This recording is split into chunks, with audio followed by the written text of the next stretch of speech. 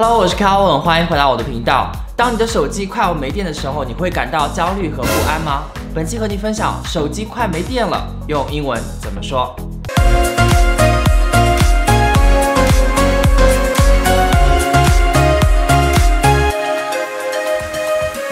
？OK，手机快没电这种情况在我们生活中应该会经常发生哦。我们首先看第一个表达，run out of juice。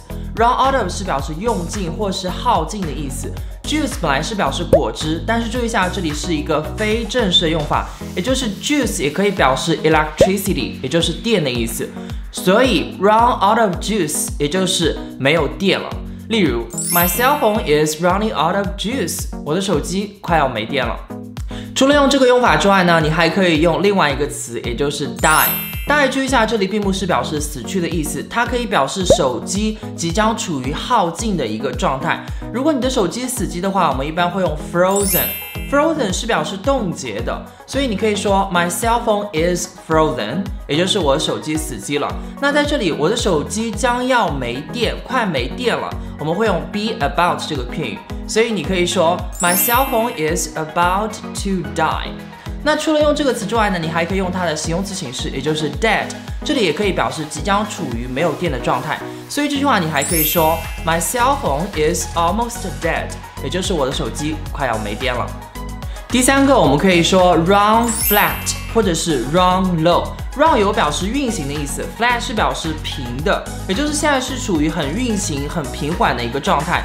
而 low 呢是表示低的。啊，运行很低的一个状态，同样表示手机快要没电了。那这里注意一下，一定是你的电池运行很平缓，或者是电池运行很低。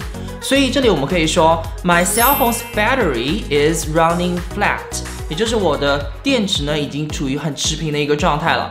亦或者是 My cell phone's battery is running low，也就是我的电池现在处于很低的一个运行的状态，也就是我的手机快要没电了。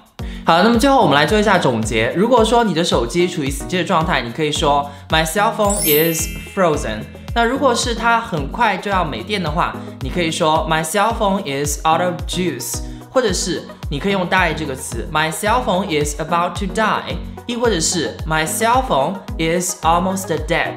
那最后就是我们刚刚提到的 run low 和 run flat 这个片语，所以你也可以说 My cell phone's battery is running flat，亦或者是 My cell phone's battery is running low。好的，那这样子有没有搞清楚呢？欢迎大家在下面的评论区补充和留言。如果你喜欢我的频道，记得帮我按赞和分享，因为小贴士会不定期更新。希望大家一定要订阅或是关注我的频道，这样才不会错过之后的任何一期哦。我是 Calvin，catch you guys next time。我们下期有空再会喽，拜。